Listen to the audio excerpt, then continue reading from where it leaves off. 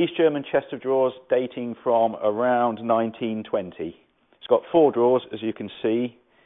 Each one of them has got some small brass drop handles. And this particular chest of drawers has got a key in one of the drawers. Usually they're lost years ago.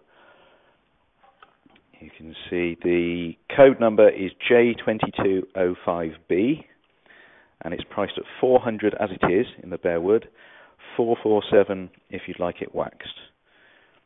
And its height 36 inches, width 40 and a half inches, depth 21.